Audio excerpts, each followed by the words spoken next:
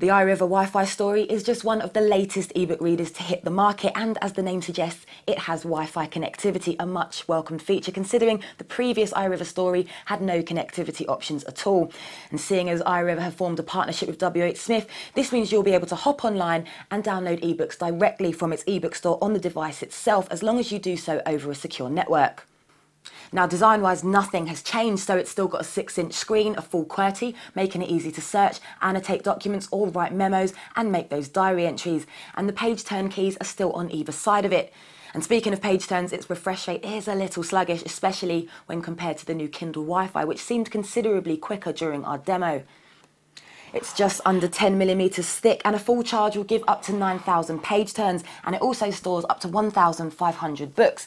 It also runs iRiver's iFlow interface on top of a Linux-based operating system.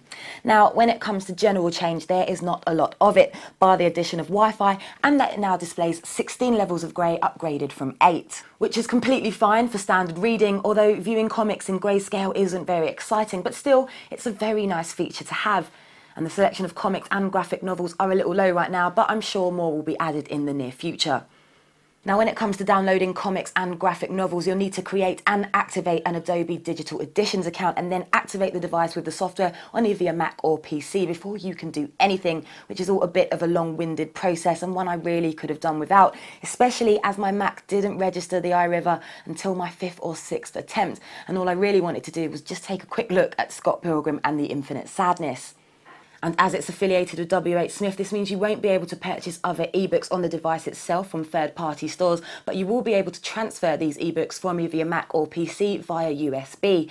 And you'll be happy to know that it connects to the ebook store at a reasonably fast rate, and downloading books won't keep you waiting too long as far as ebook readers go. Downloading speeds are pretty quick. It's easy to use, buttons are labelled clearly, and navigation is easy and intuitive, so there's no way you should get stuck at any point and this goes for the device itself and WH Smith's ebook store.